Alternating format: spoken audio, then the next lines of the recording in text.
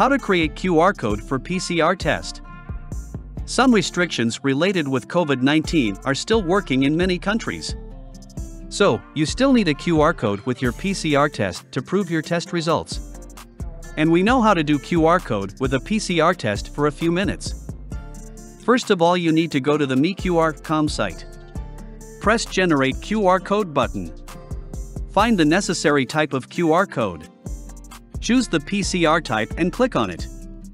Upload your PDF file with PCR test. Set an expiration time.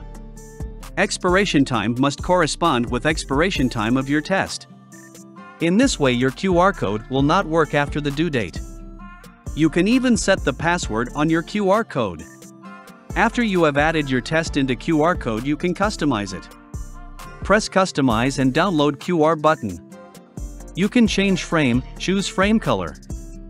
You can add additional text that will be placed below your QR and choose the color of it. Then you can set patterns inside QR code and corner style. Add a logo or upload your own. After you have finished with QR code design, you need to download it. So, your QR code is done and it took only a couple of minutes to do it. Also we need to remind you that our QR code generator is free and it doesn't have a scan limit. If you made some mistake during QR code creation, it's not a problem with MeQR generator. You can edit your QR code whenever you want. You need to go to your QR codes page, find QR code and change content inside QR code. You can change the type of QR,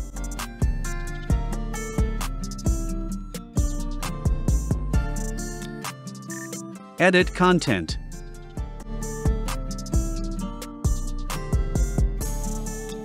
Set access restrictions and other.